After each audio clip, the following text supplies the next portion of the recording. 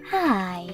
In front of me is Vivo Y36 and today I would like to show you how you can change theme of this device. Firstly, just open an app called Themes and choose one of those options, recommended or categories. Wherever you decided, click on Themes at the top and click on the best one for you. You can also tap on the search bar instead and type them wherever you wish to.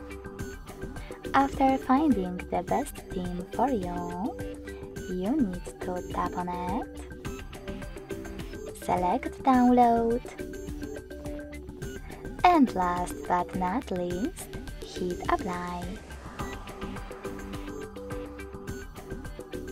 As you can see, after that, theme of my device has changed.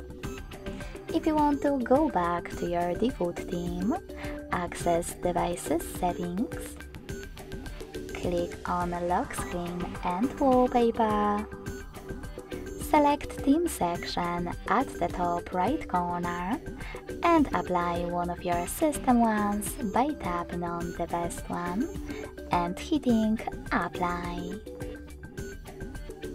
Thanks so much for watching. If you enjoyed this video, smash that like button, comment and subscribe.